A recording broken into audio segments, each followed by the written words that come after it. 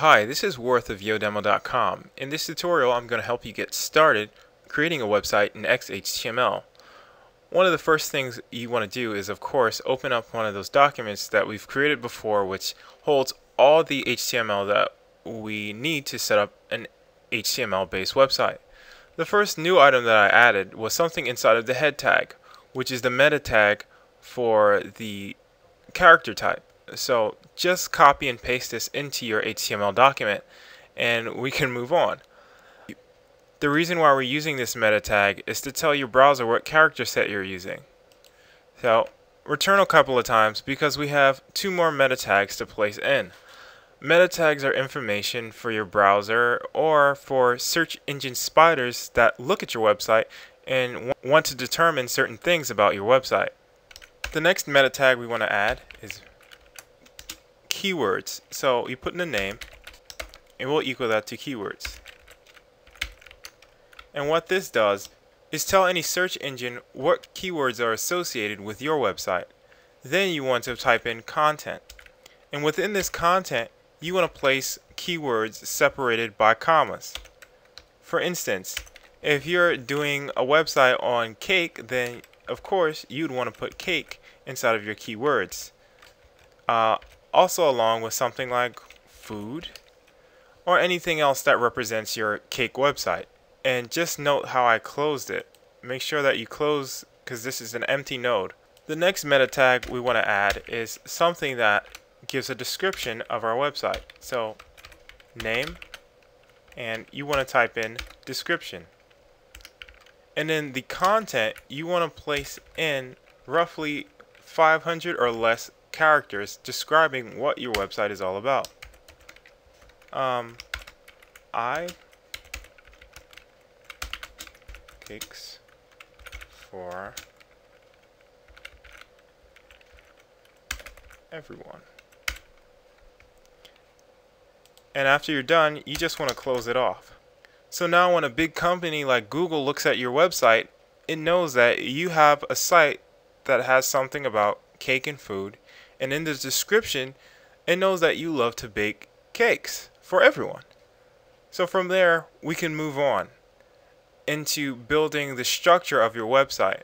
There are a few things you want to consider when building the structure of your website. And one thing is, who is your audience? What do you plan on displaying? And what information is most important? So now we'll move down into the body to start creating the structure of our website. The first thing we want is a title. And not like the title above, we want a title that the users can see, which is between usually an H1 tag. So H1, and you give your web page that title. So baking cakes. And remember to always close what you open. So there we go, baking cakes. And the next thing you would probably want is some way of writing to the people. So we'll put all of our text inside of a paragraph tag. So what I'll do is paste in some information, some useless information rather, and I'll just make sure that I close the tag on that paragraph.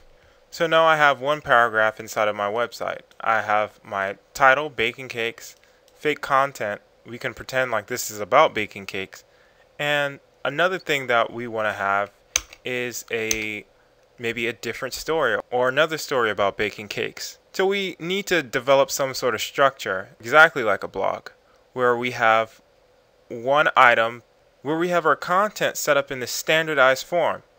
For instance, there should always be a title and there should always be some sort of um, paragraph structure inside of our content. So we have our header 1, but header 1 is usually reserved for the main title of the site. So we'll keep that there. So we'd probably need to use something like H5, let's say. So H5, H5 is a smaller header, which is good for titles, but not the main title. And we can name this Hello Cake. So now we have some sort of structure set up. It has a title and we have a paragraph. So what we want to do is put all of this inside some sort of structure. And that structure we're going to use is a divider dividers, they're used to essentially divide things into parts and pieces. So it's just div. And a divider doesn't do anything until you style it. And we're going to get into something more complicated in the tutorials to come. Well, not that complicated, but we're going to work on um, CSS, which is a language that helps you style and give your HTML document beauty. When we create this divider, what we want to do is add a class, and I'll explain why we use classes. You just type in the word class equals, and then you type in something, any name. For me, I would go with post.